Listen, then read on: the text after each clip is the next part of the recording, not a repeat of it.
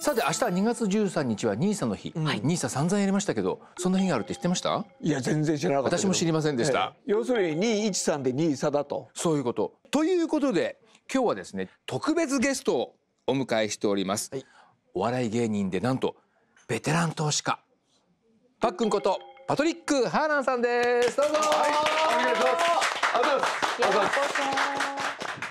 スタジオにはお笑い芸人で投資家のパックンが初登場。投資家っていうことで何年ぐらいやってるんですか？28年。28芸年。人よりも長い。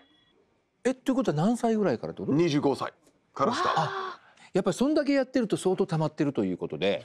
トだからそういう言い方するから安い安くなっちゃうんですよ。いやだってですごいんですよ。オープンで情報がどういうポートフォリオかを今日見せてくれるっていう。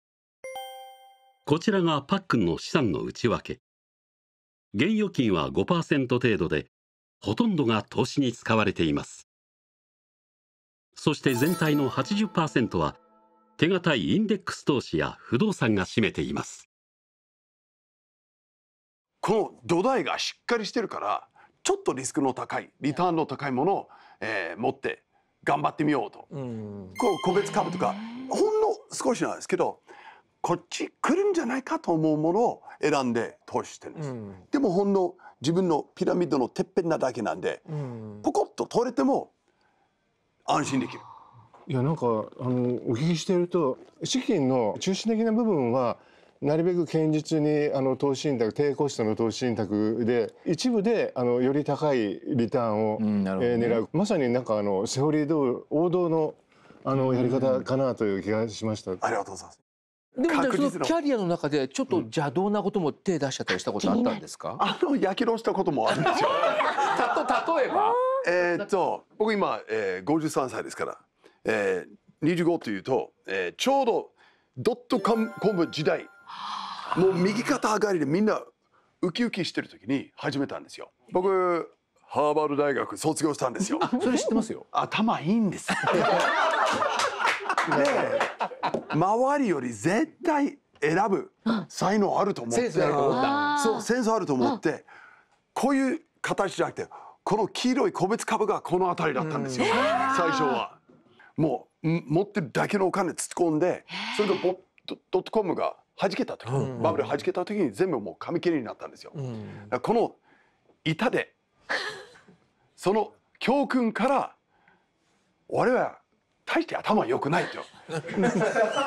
考えを直して周りよりは勝てないだろう。悩みからも解放されたくて S&P とかインデックスファンドにしてるんですよ、なるほどね落ちてるかどうか気にしたいのはネタだけですよ。あ の日本人で投資してる人の多くはあのパックンの最初におやりになったのは資産の大部分を個別株とか上がるかもしれないアクティブ投資とかに大部分を入れちゃってるんであの上がったり下がったりしてで負けちゃって投資怖いようになっちゃうんですけど失敗するであれば若い時に失敗した方がいいね。でもその時にやめようと思わなかったんですか？もうやだやだと思って。いや投資やめることはないです。